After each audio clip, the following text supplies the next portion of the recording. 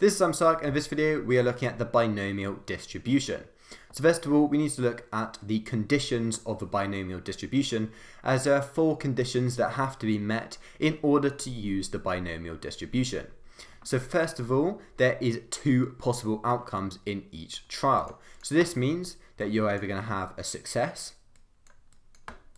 or you're going to have a failure. So that is the two possible outcomes you can have. There also has to be a fixed number of trials. So for example, the number of trials has to be specified before the experiment. So you may say there may be 10 trials, for example, and that is a fixed number. The trials also have to be independent of each other. So the first one cannot affect the second one which links into the idea that they have to be in uh, identical trials. So the probability has to be the same for each trial. So for example, it could be 0.45 for every single shot, for example. So it could be uh, shooting how many penalties somebody scores, and if the probability of them scoring is 0.45, then that would have to be exact the same each time. So in terms of setting up the binomial distribution, it has to be set up with the parameters n and p. So n is the number of trials. And then p is equal to the probability. And this is written as x is binomially distributed into n, comma, p so n is that idea of number of trials, and then probability is that. And that's why it has to be uh, identical trials, a fixed probability, and also a fixed number of trials. So individual probabilities, which is p where x is equal to x, and cumulation probabilities, where p is either less than, or it's more than x, or it's more than and equal to x, and they can both be found directly on a calculator, which is which this video will show how to do. So the first question says that the probability of a team winning a football game is 0.63. So if the team play the same team 10 times, what is the probability of winning exactly 7 matches? So first of all, we'll see why we can use the, uh, the binomial distribution in this particular case. So the first condition is that there are two possible outcomes in each trial. And in this, one of the possible outcomes is you win. The other possible outcome is losing or drawing. So in other words, not winning. Now, although you may think there are three probabilities of three different uh, outcomes because losing, drawing, or winning, you're just counting it as winning or not winning. The next uh, condition that we need is a fixed number of trials, and this says here that they play the same team 10 times. So that 10 is our fixed number of trials. And then independent. Now, although they may, we are making an assumption they are independent, and they may have external factors, which means they're not independent. For this, we're going to assume they're independent, and that is because there is a fixed probability of 0.63. So that means that as we have this fixed probability, it means that we can use the binomial distribution and we're going to be using the binomial probability distribution instead of a binomial cumulative uh, distribution, which we'll look at later, and that is because they are winning exactly seven matches. So if they were winning eight matches, that wouldn't count, or nine matches, that wouldn't count. They have to win exactly seven matches. So that means that what we're going to do is we have to find what x is, we have to know what n is, and we also have to know what p is. So x, that is going to be 7 because that's they win exactly 7 matches. And n is going to be 10 because it's out of 10. The probability then is 0.63. So therefore what you're going to do is you're going to use your calculators and you're going to type this in to the binomial PD, which is binomial probability distribution. So you type that in, you press equals, and you'll find that the probability is equal to 0.2394. The next thing we will be looking at is about probability, um, the binomial cumulative uh, distribution, and that would be maybe if they were to win um, more than or equal to seven matches, which would need you to, uh, which would mean you need to find the probability of them winning eight matches and add that on. So next thing to look at is binomial CD, which is binomial cumulative distribution. So this takes when it's something is probability is more than or equal to a number, or it's less than a number, for example, but we do need to learn this table here. And this is just normally n, but I put 5 in instead of n so we can see exactly what it's doing. So when the probability of x is less than or equal to 5, that is when it stays exactly the same. So that means that if you're working out x, you would put 5 into your calculator. When it is just less than 5, however, that means that it's the probability of x is less than or equal to 4. So that means that when we're working it out, if it was less than 5, we want it in terms of equal, so we'll have to do n minus 1. Then, however, when we're looking at more than, you're going to have to do 1 minus when it's less than. So when the probability of x is just more than 5, you'll just be doing 1 minus the probability of x being less than or equal to 5. And then when the probability of x is more than or equal to 5, then you're doing the probability of 1 minus the 1 minus the probability of x is less than or equal to 4. So again, that's when you're doing that n minus 1. So for that one and that one there, you're having to do the n minus 1. That one, you're having to do the 1 minus, uh, like you're having to do here. And then the only one which stays exactly the same is when x is less than or equal to a number. So here we have a question and it says that a discrete random variable x is binomially distributed 30 0.58. So if we remember, this is going to be n and this is going to be p, the probability. So therefore, we need to work out what our x is, what our n is, and then what our p is. So n and p are given to us, 30 and 0.58. But then x, and this is more than or equal to 12. So if we look on this, p, when probability of x is more than or equal to a number, we do 1 minus the probability of x is less than or equal to n minus 1. So that means that what we're going to be doing for this one is 1 minus the probability that x is less than or equal n minus 1, 11. So that means this number we're putting in is 11. So therefore, this time instead of using um, instead of using binomial PD as we did in the, the last example, this we'll be using binomial CD, which is a different function on the computer. And we can work out the probability that x is less than or equal to 11 is equal to 0.0151. So that means they're doing 1 minus 0.0151 is equal to 0.985.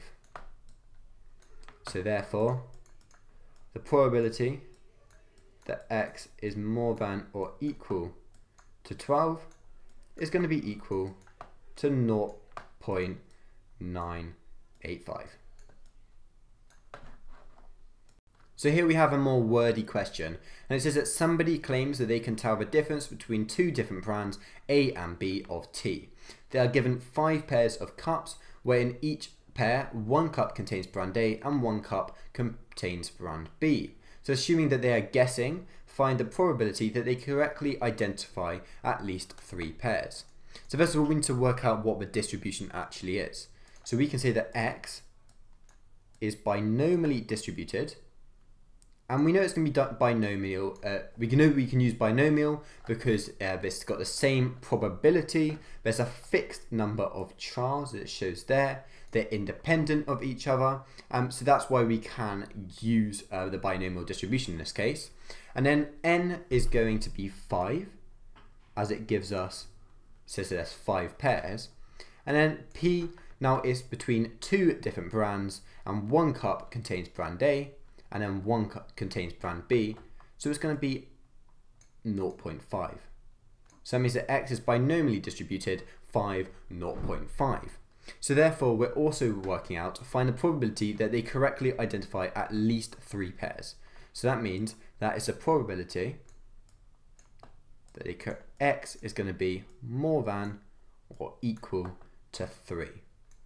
Now that is also equal to, as we just learned out in the previous section, that is equal to 1 minus the probability that x is less than or equal to 2. So therefore, our x is going to be equal to 2. Our n is going to be equal to 5. And our p is going to be equal to 0.5. So when we put that into our calculator, and we'll put that into our calculator with um, uh, binomial CD because it's cumulative and this is because it's that idea of more than or equal to so it's going to be binomial CD instead of binomial PD and we put that into our calculator and we get the probability is equal to 0.5. Now normally we need to do that 1 minus 0.5 but obviously 1 minus 0.5 is simply just going to be 0.5 anyway so there's no need so the probability is equal to 0.5. So the final question that we'll look at today says that for any family of five children, A is the event there is at least one boy and one girl, and B is the event that there are more girls than boys. So a symmetrical binomial probability distribution can model X, and that is the number of girls in a family of five children. So are the events A and B independent of each other? So for this we'll be using the knowledge that we gained from the last video about being events being independent or mutually exclusive. But first of all, we need to work out the individual probabilities that there is either at least one boy and one girl, or that there are more girls than boys. And for both of them, we could use the binomial distribution. For the first one, though, it would actually just be easier to work out the probability that there are going to be zero boys or zero girls, and then minus that from one. So this can be done by working out the probability that all of them are boys, which is going to be a half to the power of 5 and then we're going to add that to the probability that that all goes just a half to the power of 5 and that is equal to 1 over 16 so therefore we'll do 1 minus 1 over 16 which is equal to 15 over 16 so that's the probability that there is at least one boy and one girl. Then for the there are more girls than boys. This is when we will use a the binomial um, cumulative distribution. As what we are saying is that the probability that x is more than or equal to 3. So this is because they're an odd number. In order to there to be more girls than boys, there would have to be three or more. And we know that that is going to be equal to 1 minus the probability of x being less than or equal to 2. So therefore what we have is x is equal to 2. That we have that n is equal to 5, and that's because it's a family of 5 children. And then P is going to be 0.5. So probability, a boy or girl, 0.5. So therefore, that, we're going to put that in, and that is equal, probability is equal to 0.5. Again, like the last question, 1 minus 0.5 is just 0.5. So that is our answer there. So now, in order to, to work this out, we can say that 15 over 16 times by a half is equal to 0.46875. And if they were independent, that would mean that this is the correct answer. Because independent means you can do probability a of the probability times b is going to be equal to the probability of a and b. So now we need to compare this to another way of working out the probability of a and b, and if they're the same, then that would mean that they're independent. So the other way of working this out is going to be working out what values it can be for both of them. So for a and b, it could be probability of x is equal to 3 or the probability of x is equal to 4. Now that is because if there's going to be there can be three girls, this is for girls, so there could be three girls and that would fit both of them because there was at least one boy and one girl and there are more girls than boys or there could be four girls. Again that fits both of them. There was at least one boy and one girl and there are more girls than boys if there were five if, if x equals five then that wouldn't be able to fit this because there isn't at least one boy. And if there were two or one there would be more boys than girls. So therefore we'll work these out individually. We're going to be using for this one because it's equal to we shall be using the idea of um, of by probability binomial PD binomial probability distribution instead of uh, binomial CD. So for the first one, x is equal to 3, n is equal to 5, and p is equal to 0.5. So therefore, p is equal on this one to 0.3125.